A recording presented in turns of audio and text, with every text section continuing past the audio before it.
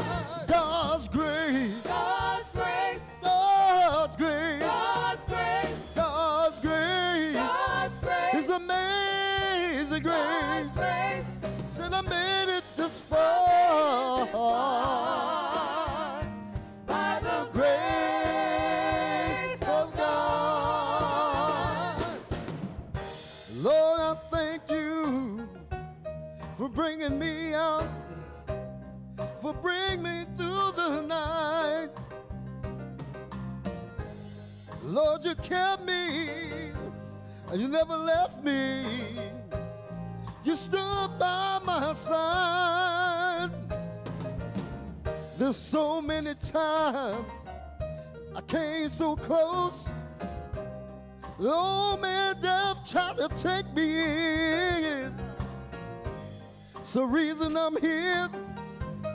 I'm not hard for me to see. In fact, he isn't going to explain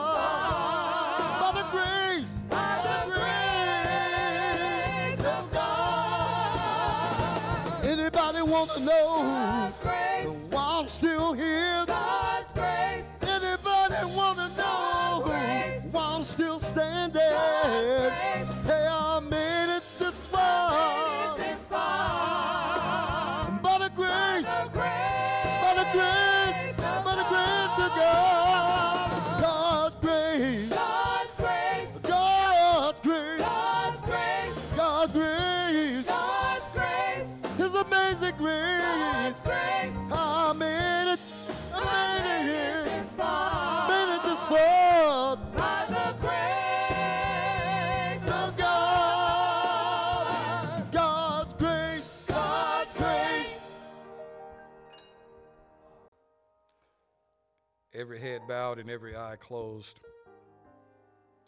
How grateful we are, O God, for your grace and for the ways in which you continue to pour that grace out into our lives day after day. It is because of your amazing grace that we are still here. So I pray now that Ricky might die, that Christ might speak, hide me behind the cross. May the words be heard be the words of a risen Savior who offers both spirit and life everlasting. For it is in his name and for his sake that we pray. Amen. Well, it's good to be here. And welcome to the virtual worship of First Baptist Church West today.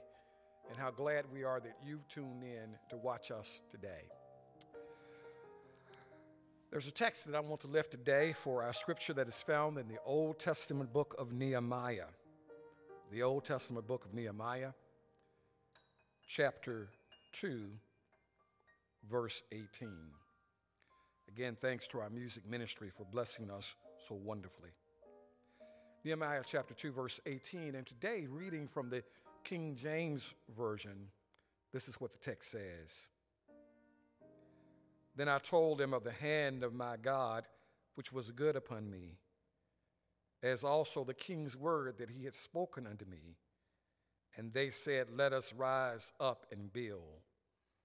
So they strengthen their hands for this good work. Pray with me, if you will, for a little while today from uh, this subject measuring our progress. Measuring our progress. When we look around the world in which we live today, it's easy to see what could be called a loss of progress. Not so long ago, there were those talking about a post racial society after the election of Barack Obama. Yet today, many of our public schools across the land are as segregated today as they were when Brown versus Board of Education was decided 68 years ago. The racial violence that we have witnessed from Charleston to Buffalo has reminded some of us of a time when being black was enough to be dangerous no matter the circumstance. The court's possible ruling on Roe will bring other issues of privacy into question, not to mention to remove the rights of women to make decisions about their own bodies. Public debate has lost the ability to argue ideas but it now is an appeal to the lower tendencies we give in to when guided by the fear of the other. The dream that so many saw possible in the land of the free and the home of the brave has turned into what scholar James Cone called a nightmare. And whereas some may be wringing their hands without a clue what to do in this moment, that is not the case for the church. The church was made for this moment. And in fact, history has taught us that the church has done some of its most impactful work in times of crisis. That's why we've been here 155 years. We were born out of a crisis coming out of the Civil War, beginning into Reconstruction. This is the moment when theology and practice come together through the lived experiences of a community to turn the tide and move us in a direction of what can happen through human and divine partnerships. Many years ago, there were people who knew what it meant to lose progress. They had come from bondage to freedom and gave birth to a nation founded not on democratic ideas, but centered in monotheism. The nation proudly claimed their allegiance to the one true God. They enjoyed the benefits of being the people of God, and they made worship and service to God the hallmark of what they did. They built all of the monuments that nations build for governance and to show to the outside world who they are and what they valued. But a day came when the nation lost its way, they forgot the God that had brought them and refused to follow his covenant. So the nation failed, and those that survived were carried away into exile. When their captives demanded that they sing as captors often do, they responded, How can we sing the Lord's songs in a strange land? Years passed as well as generations. And then after 70 years, they began to return home, but now their home lies in ruins. Multiple rebuilding efforts are made, but they never fully succeed. Then one day, the former cupbearer to a foreign king returns home with a burden, a vision, and a plan. Nehemiah is his name, and the actions of Nehemiah and those with him provide a wonderful indication on how to measure our progress. How do we know when we are making progress? Is it the right progress that we should be making in this moment? So, just how do we measure our progress? Well, first, the first sign of progress is a community willing to listen. When Nehemiah arrives in Jerusalem, he goes out with a small group to assess the conditions of the city. It is not insignificant that Nehemiah makes this assessment at night. We ought to read the Bible carefully because every word is there for a reason. In the stillness of the night, Nehemiah is able to avoid the distractions that can come with the day. Sometimes the distractions are other tasks that cause our attention to be divided, and the absence of focus causes us to miss what should have been obvious. Sometimes the distractions are the surrounding scenery that comes when an expanded view that daylight makes possible. My wife complains about my driving because I inherit a tradition from my father that when I'm driving to always look to the right or to the left to look at the scenery. So far, unlike my father, I don't make a habit of running off the road.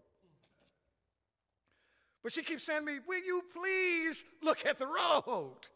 She only says that to me during the daytime. At night, I'm laser focused. I'm watching what is in front of me, but with expanded daylight and such beautiful scenery, you can't help but sort of look around to see what is going on around you. At night, with a narrow vision, Nehemiah expects the walls of Jerusalem. At night, when imagination is heightened, and the stillness allows us to be more focused.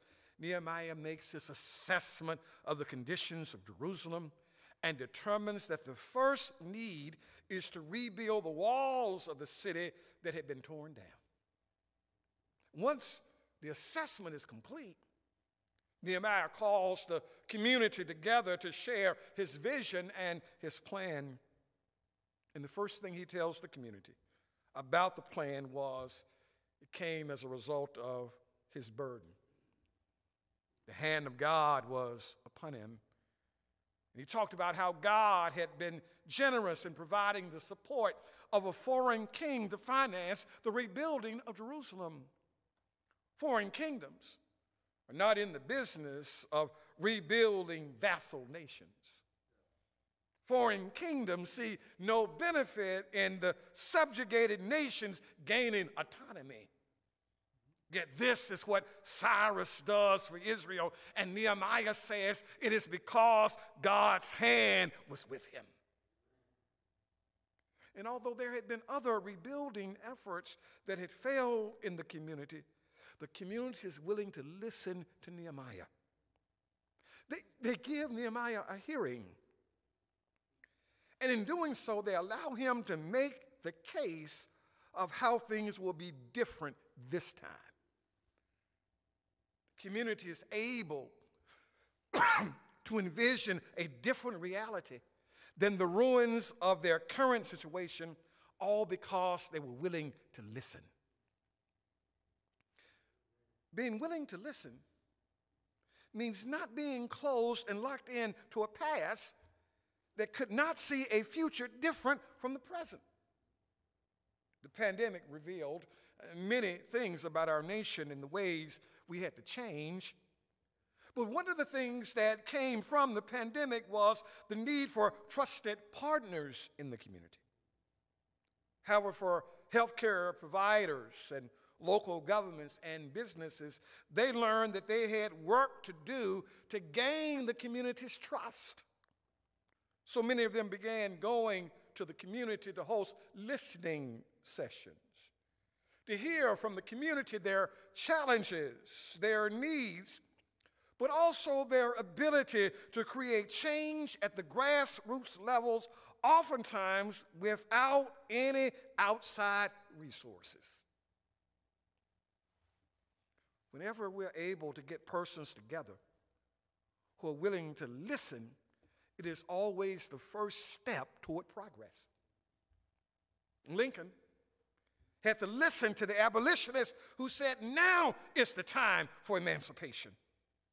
The courts had to listen to a community's demand for equal citizenship. And this week, the U.S. soccer team had to listen to the women's soccer team as they gain equal pay with the men this week in a new collective bargaining agreement. In fact, many argue that the very reason Brittney Griner is in a Russian prison is because of the unequal pay scale in the NBA and the WBA. Progress is made anytime a community is willing to listen. So they listen to what Nehemiah has to say. But the second step toward measuring progress is a community willing to work together.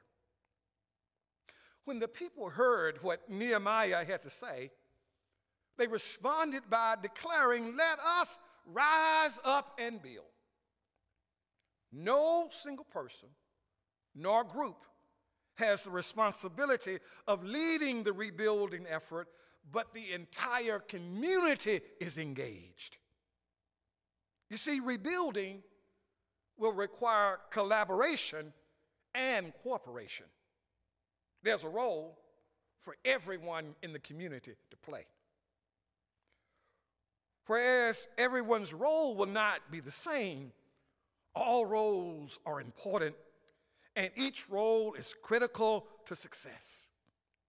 Nehemiah is able to pull the community together to work together because he has a clear vision with achievable goals to be completed in a reasonable time. Let me say that again. He is able to pull the community together because he has a clear vision with reasonable goals to be completed in a reasonable amount of time. Mm,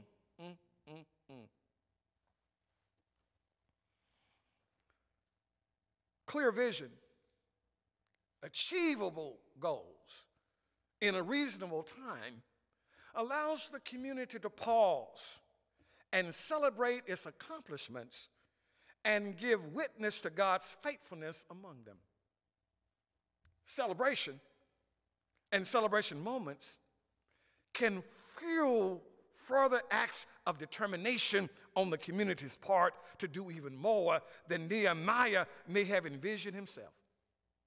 When Nehemiah returns and he mobilizes the community for change, all he wants to do is rebuild the wall. But if you keep reading the story, what you discover is after they rebuild the walls, they said, well, if we can rebuild the walls, we can rebuild cultic worship. And so we can rebuild sacrifice. And we can rebuild altars. And then if we can rebuild worship, we can rebuild covenant relationships. And we can show what it means to act justly with one another. And if we can rebuild that, then we can rebuild what it means to be faithful to God so that the nations of the world will see that we can be a light to the nations. But it all starts with rebuilding the wall. And because the wall is rebuilt, worship is rebuilt, governance is rebuilt, and commitment to God is reestablished. working together, they rebuild walls. In the progress of a community willing to work together, there is also a commitment to accountability. I love this in the text, particularly in the King James, because you only find this language in the King James. It says, So they strengthen their hands for the good work. The strengthening of hands speaks to mutual support that helps and aids, but also holds others accountable. Help me, Holy Ghost. Mutual support that helps and aids, but also holds others accountable. Holding others accountable does not mean rebuking them for their failures. No, no, no. Accountability means coming alongside of them to help them succeed. Accountability means providing a vision for why the work matters and it has eternal significance that will live long after they have departed. Accountability means being not just accountable to the project, but what does it mean to be accountable to God?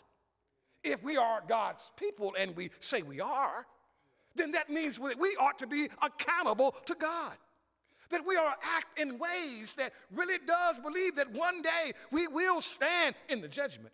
And one day we will give an account for every deed done in that body, in this body. And on that great getting up morning if we have done what we ought to do and what we should do, we'll be able to stand there ready to give our report without any fear or without any intimidation because we've been accountable all along the way.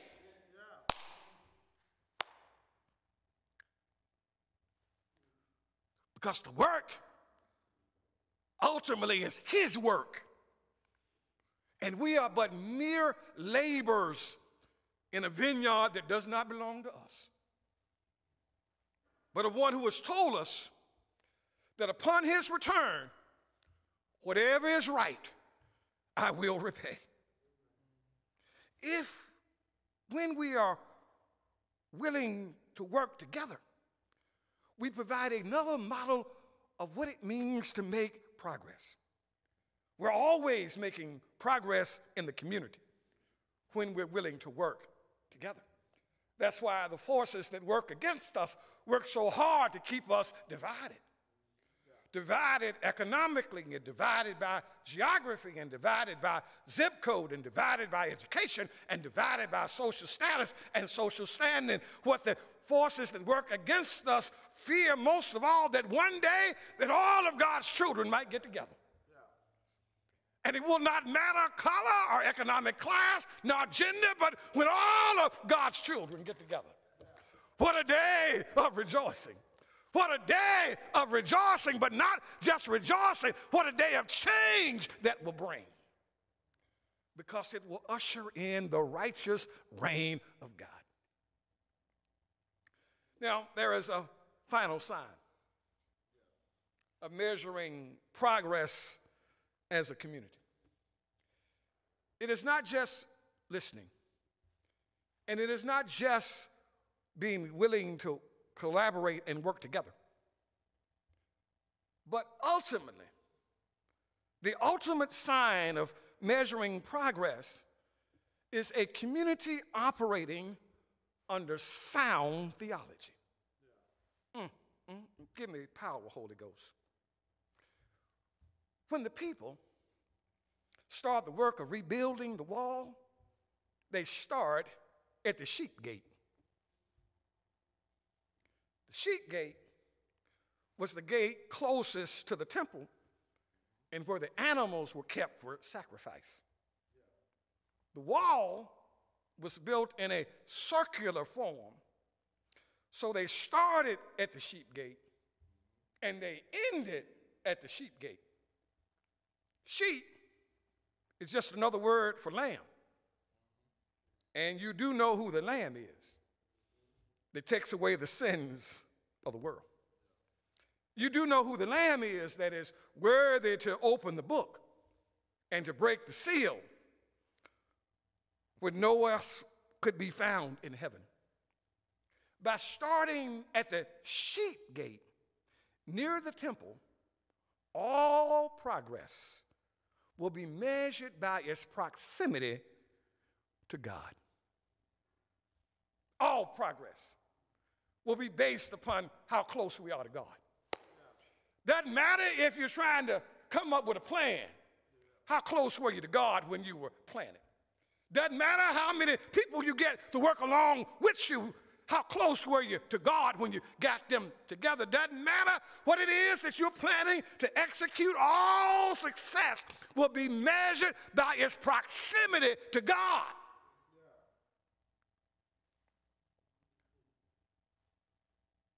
The closer we are to Him and being able to see Him and hear Him informs us of the work that we will do and how we will seek to fulfill His will and His desires rather than our own. I love this proximity issue because it speaks of a God that is willing to draw near to us. Proximity says, He who was rich became poor for us, that we might be made rich in Him. Proximity tells us that the Word became flesh and dwelt among us, and we beheld Him full of glory and full of grace and truth. Proximity says that God is always reaching out for us. But the other coin of proximity is how often are we reaching for God? That's why the Negro spiritual had proximity in mind when it said, Father, I stretch my hand to thee. no other help I know if thou withdraw thyself from me, whither shall I go? Proximity to God was what they had in mind when they declared, I love the Lord. He heard my cry and pitied my every groan. Proximity to God. When Moses got close to God, he saw a bush that burned but was not consumed. And heard a voice from that bush that sent him on a mission of a lifetime. When Isaiah got close to God, he said, I saw the Lord, and he was high and lifted up, and his train filled the temple. When Hannah got close to God, she was informed that God heard her prayer, and she gave birth to a son. Proximity is not just a matter of our physical location, but it speaks to the location of our hearts. And when our hearts are near God, God will use us for his glory and our good. Now, theology, my brothers and sisters, don't be afraid of that word. For theology is not just reserved for scholars and clergy, theology belongs to the church. That's why Martin Luther nailed his 95 theses on the doors of the church at Wittenberg that gave birth to the Protestant movement, something that we call the Great Reformation. That's why Martin Luther King Jr. published his letters from a Birmingham jail to address local clergy that questioned his motives. That's why we have a Bible printed in the language of the people because theology belongs to the church. And we need to have deeper conversations about social justice and prophetic proclamation. We need deeper conversations on the meaning of community and how the church is meant to be a counter witness against the culture, not walking in line with it. We need deeper conversations on what it means to be the people of God. And what does God expect of us as we occupy space in this world in this moment in time? Operating under sound theology does not give glitter and glance that draws crowds a chance, but is guided by a commitment to a faithful God. This is the story of the church. And that's why we are still here. After 155 years, we're still here not because of glitz and glamour, but because of faithfulness. We're still here because of sacrifice and suffering and hard work and commitment that generation upon generation upon generation has given in this place to demonstrate that God is faithful and that He can be trusted. Faithfulness is always won out over every pretender. Be thou faithful over a few things, and I'll make you ruler of many things. Be thy faithful unto death, and you shall receive a crown of life that fadeth not away. Measuring our progress means a community willing to listen, means a community willing to work together, but ultimately it means being a community operating under sound theology to God's glory and to our good. Let's pray.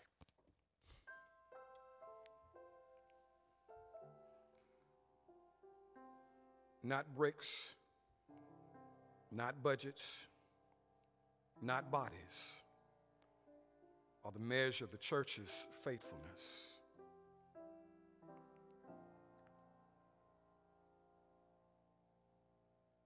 Nor the measure of the, of the church's success. Faithfulness is measured in sacrifice, service, suffering, submission. Faithfulness is measured over time through commitment and determination in the good days as well as in the dark.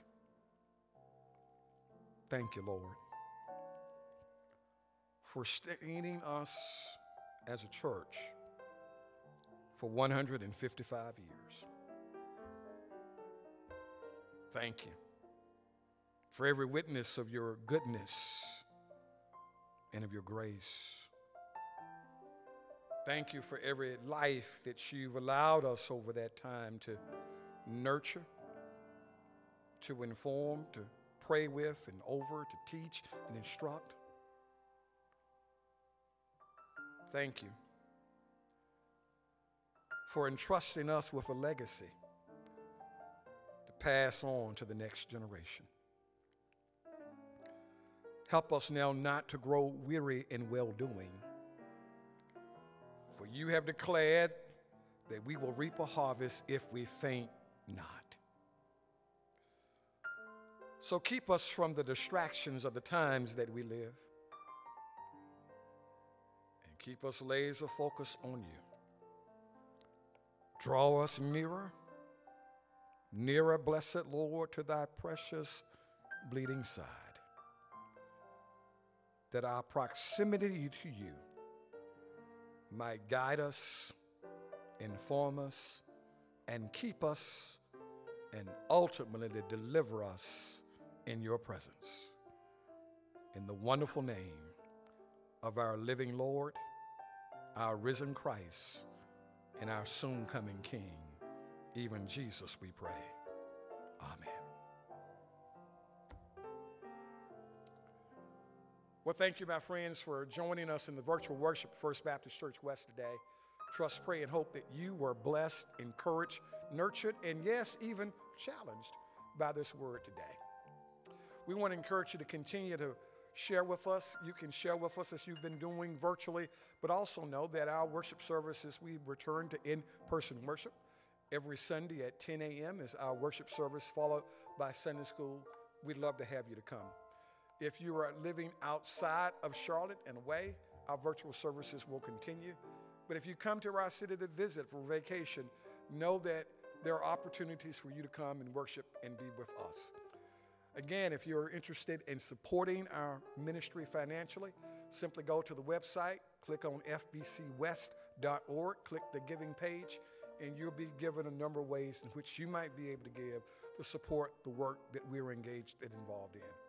Our summer months is a time in where we're committed to paying out mission causes, and we've supported a number of mission efforts already, but your gifts will allow us to do even more for missions in the coming days.